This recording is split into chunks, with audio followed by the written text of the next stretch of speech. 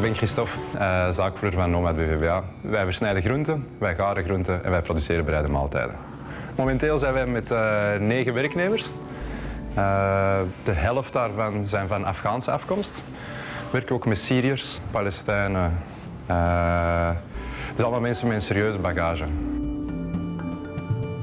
Ik ben Peter Koopman, zaakvoerder van de firma Corco.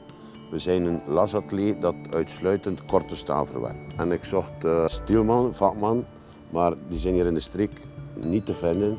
En dan ben ik naar het asielcentrum geweest, hier in de buurt. Uh, ik heb nu twee anderstaligen die hier een, een IBO-opleiding volgen.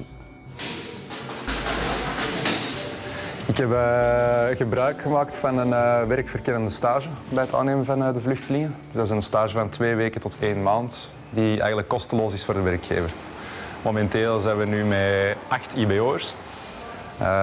maar er is al wel twintig man gepasseerd, die dat na een paar dagen worden bijgestuurd tijdens de werkverkennende stage. dat gebeurt dan ook in overeenstemming met de VDAB. en dat gebeurt ook door tussentijdse evaluaties.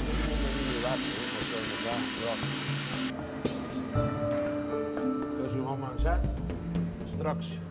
Het is zo dat het hele goede werkkrachten zijn, maar wij zijn effectief, wij moeten van nul starten. Er is natuurlijk het cultuurverschil, ook de normen. En daardoor, dat is, niet alleen de taal die een rol speelt, maar je moet ze ook ons manier van werken uh, leren onderwijzen. Zelf geef ik de Nederlandse taalopleiding met ondersteuning van uh, de VDAB. Dat is een intensieve opleiding uh, met pen en papier gaan wij door ons magazijn en gaan we blijven herhalen tot ze het kennen. Komkommer, tomaat, aubergine, courgette. Dan krijg je dat mee als huiswerk naar huis om in plaats van aubergine, O-B-E-R-J-I te schrijven, dat ze dat dan ook wel correct aubergine schrijven. Nou, dat is wel leuk, die stappen die, uh, die komen heel snel. Voilà, dus juist boven de sergeant eerst een puntje geven. Ons traject van werkverkennende stage, IBO en vaste contracten ja. heeft ons eigenlijk in staat gesteld om samen met het bedrijf te groeien. Uh, tijdens de opstart, de eerste maanden, uh, hadden we eigenlijk kosteloze werkkrachten.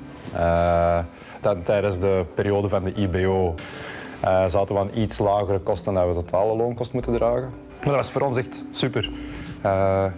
anders zit je nooit in staat om voldoende werkkrachten te zetten, om je markt te leren kennen, om zelf ook kennis over je producten nog op te doen. Dus dat was echt een perfecte match. En VDAB heeft daar heel goed mee geholpen. Um, het heeft mij uit de nood geholpen en uh, per slot van rekening, het is zeker een win-win situatie. Ik steek er enerzijds wat energie in en anderzijds is een IBO-opleiding heel interessant financieel voor de werkgever. Voor mij is stabiliteit in hun leven heel belangrijk. Uh, vooral voor de mensen die rondom mij werken. Die mensen hebben nu gewoon ook een periode van rust nodig waarin dat zij hun appartementje zelf kunnen gaan huren zonder hulp van het OCMW, waarin dat ze wat geld naar huis kunnen sturen. Dus voor mij een vast contract, vanaf dat ze het verdienen, krijgen ze het.